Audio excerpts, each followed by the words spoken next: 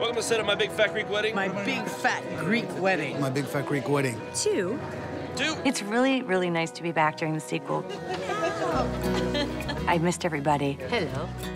The fact that the whole cast is back is so wonderfully touching. we couldn't do it without everybody. It had to be everybody.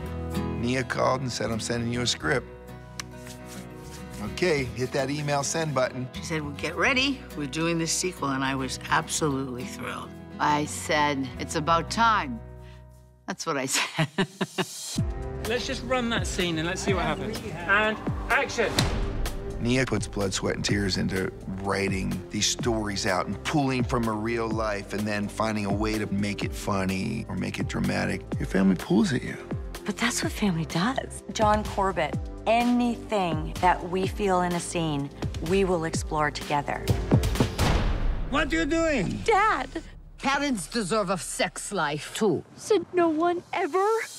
Elena Kampouris, she actually is 17 years old. This girl plays this role so beautifully because she knows it. Keep your eyeballs open for a nice Greek boy, so one day you can make babies. Don't waste your eggs. Outstanding. I was nervous coming into such a close-knit family kind of cast environment. Okay, Elena, press it. But everybody took me in with open arms, which was really nice. Employee, bring menus. Get them yourself. Oh, Lainie Kazan and Michael Constantine, you see them off screen and they're laughing and talking and holding hands. We have a great time together. I'm here. Andrea Martin has like a really mischievous sense of humor.